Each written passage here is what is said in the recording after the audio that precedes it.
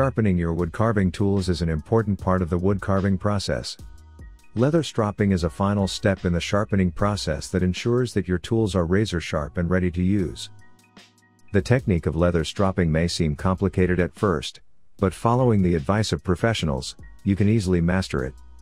Draw your instrument along the strop away from you and towards you, with the bevel against the surface of the strop. When you move the knife from yourself, the blade should point towards you, and when towards yourself, it should point away from you. Do not press the tool to the strop too hard.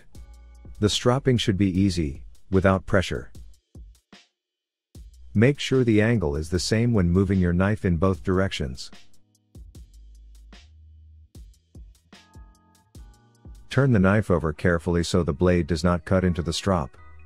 A polishing compound can bring your tool to peak performance. After the stropping session, gently wipe the knife with a soft cloth or paper towel.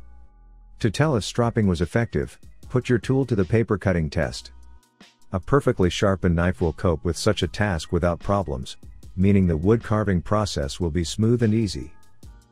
So, follow these simple steps and get ready to enjoy a seamless wood carving experience with perfectly sharpened tools.